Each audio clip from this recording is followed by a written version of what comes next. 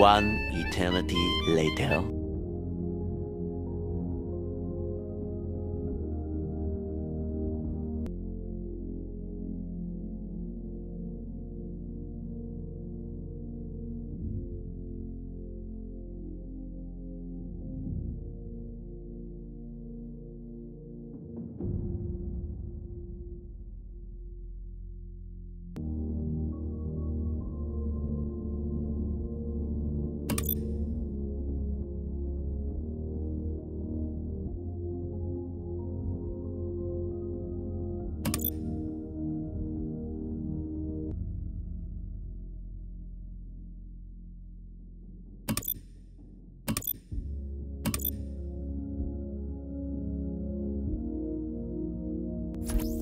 Long to get your ultimates.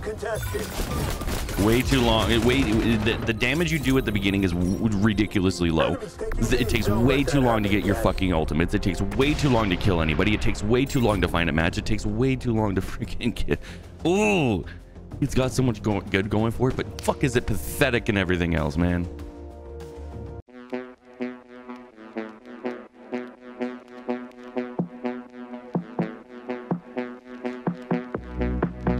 All right, ladies and gentlemen, welcome back to the channel. I'm your host, Shorty Index. We gotta be fair. We have to be fair. We're gonna talk crap about Battlefield 2042, and we're gonna talk crap about Call of Duty Modern Warfare 3, Modern Storefront. Then we also have to be honest about XDefiant. We can't sit here and pretend like this game is perfect. It's far from it. But at the very least, when you get onto a game, you expect to not have to wait upwards of 10 to 15 minutes between finding a match. Once you find a match, you're solid. Now that first initial search for a match, oh my god, you guys are going to watch my first search for the match today. There'll be a small break in the middle. That was just when I was switching the background behind my camera from my actual house, which I don't want you guys to see, to my new fun futuristic one. But the wait time itself is all the exact same length. I just had to restart OBS when I was doing it. Now, I was gone for 10 days, so I didn't get to play, and I haven't played through any of the patches. I don't really know anything that's going on. Well, that's not true. I know a couple things and some major issues. First off, net coding is terrible. It seems like some people are having some massive issues with hit detection, and other people are having the most fantastic time of their lives, meaning that if you have an issue with hit detection, you're a liar because they're having no problems whatsoever. The other issue people are having is finding a match, which you guys are seeing right now on screen. Some people are waiting even longer than 10 to 15 minutes to find a match, and when they get into a match, they have a ping that is, uh, you know, the other side of the world. They're playing PS2 games on their ping at this point. I mean, I can say I'm safely in that boat too. I'm living in Alberta. My Starlink is like four feet behind me, so I know that it's not an internet issue. Yet for some reason, it takes me forever to find a match. And when I get into a match, what I'm seeing on screen happened 57 seconds ago because that's how far behind for some reason my server side is. The other issue people are having is there's an incredible imbalance between the different abilities, which is eh, going to happen in any sort of game that you have that has abilities in it.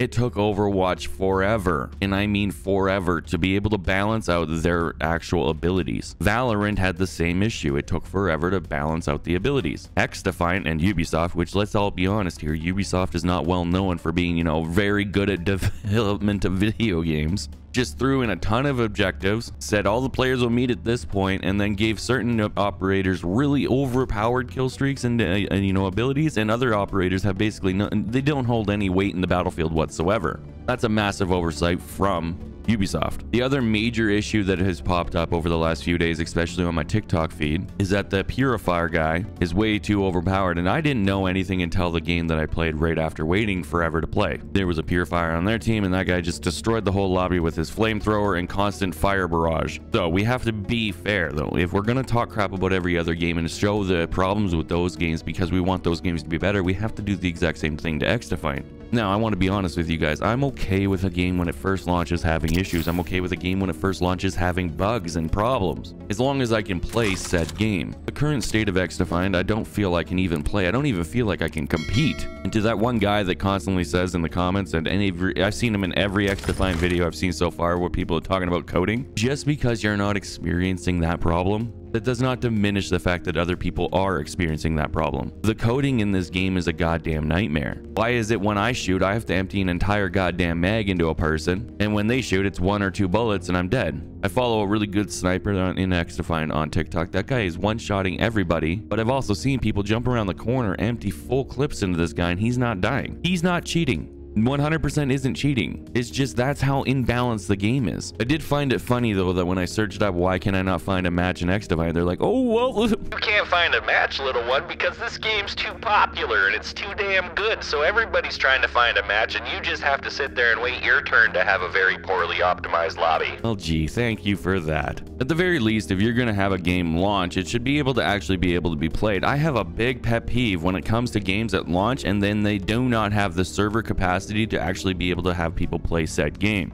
This has happened a few times. It happened in Battlefield 2042. I bought that game day 150 Canadian beautiful dollars, got early access. I didn't get to play that game for a month and a half after it launched because that's how poorly optimized it was. By the time I was able to play, everyone else had realized the game shit and left. Just had the same issues with Helldivers. I bought that stuff day one with my beautiful fake Canadian freedom dollars. Get on, I'm playing and having a blast with my friends, and then some stupid streamer picks it up, and all of a sudden there's a mass influx of players, and everybody who was uh, playing the game from day one got booted to prioritize new players. So I had to wait two weeks in the middle of the game, I was loving. All my friends were on. We were playing every night, destroying bugs, fighting for democracy, putting democracy all over those bugs' faces, dragging our freedom balls across their fucking stupid, goopy eyes. And all of a sudden, boom, we all played from day one, so we get booted so new players can play, and we could spend hours, literally hours, logging into the game. Now here we are with XDefiant, another game that I'm a, I'm I'm okay with it. The free-to-play game. We all know the grind's gonna be ridiculous. We all know it's gonna be imbalanced. We all know the skins are gonna be over the top and stupid. We all know it's going to turn into a pay to win fest, but I want to enjoy it at the beginning. And I'm sitting here more, I'm throwing rubber ducks in the air longer than I'm playing the actual goddamn game. Then when I do get into the game, the balancing is so bad and so all over the place that you can't actually compete. The game I go into, there's level 40s and 60s or whatever. There, there was definitely a level 40, but there's 20s and ups, and their guns are obviously going to be better than my little level 6 gun. Oh, Shorty, you just needed to play the welcome playlist and you wouldn't have had these issues. I searched before deciding to make a video talking about how long it takes to search for literally 22 minutes in the welcome playlist. I could not find a lobby. And then I had to click each individual one, right? And I was like, okay, I'll do escort. I really like escort. Boom, couldn't find a lobby. 10, 15 minutes there. And it wasn't until I got the domination that we had the ability to find a lobby.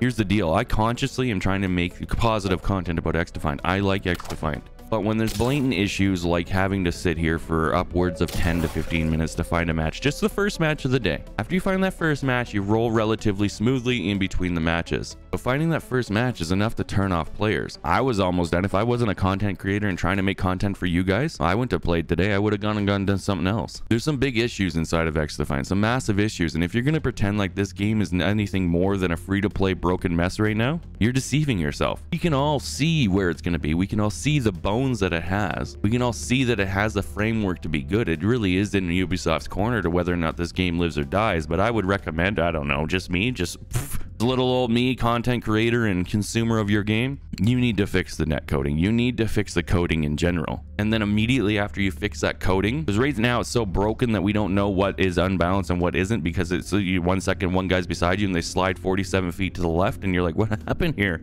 I would then do weapon balancing and then I do ability balancing. Because right now the uh, the length of time it takes to find an ultimate and get your ultimate is ridiculous. If you did better, you would be able to get your ultimate faster. Yeah, but yet again, I play a lot of objective and I don't get rewarded for playing objective. And the people who run around getting kills and have zero objective time are getting their ultimates and having a blast. This is a fine line that we have to walk yet again with yet another game. Do we play the objective or are we just playing TDM in every single game mode? That's why I think Escort's really where this game's to shine. It's TDM, but you can move the objective and you change the map. You know, for me personally, there's maps where I would rather defend at the very end than even remotely try to freaking help the, stop the thing from getting there. The game has the frameworks to be good. Does the game look a little bit 2010-ish? Yes but that doesn't bother me. Go back and play Assassin's Creed 1 all the goddamn time. Does the game have net coding issues? Yes. That's where the problem lies. This game is going to go the way of every other game right now, and it's going to die relatively fast because players don't have time like they used to. There's so much games on the market, and there's so many places for them to go, and they can just go fall back into old faithfuls like Call of Duty. If XDefiant didn't come out and directly, uh, the entire time they were marketing this game, say that they're taking on Call of Duty, they're going to be the more casual Call of Duty, which by the way, they're not. They're way more sweaty than Call of Duty.